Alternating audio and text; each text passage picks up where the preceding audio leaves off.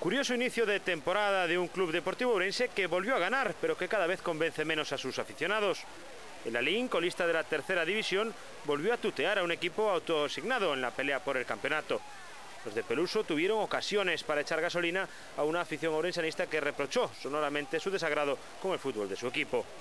Tenemos que sacar esto adelante, nosotros, si el público no nos apoya, desgraciadamente tenemos que sacarnos adelante, hay que, hay que ser hombres en este momento, es el momento de ser más hombres que nunca y de saber que si estamos solos, pues estamos solos, ante el peligro, como la película.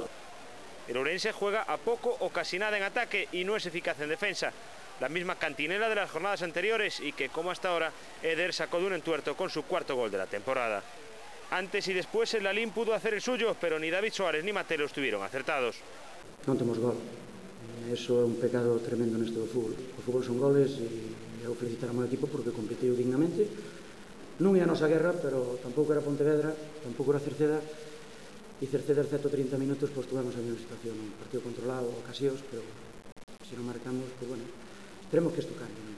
Al final el mismo 1 a 0 de costumbre y tres puntos que mantienen a Lourense en la quinta posición y a su afición un poco más desencantada. La próxima parada, Ponte Areas.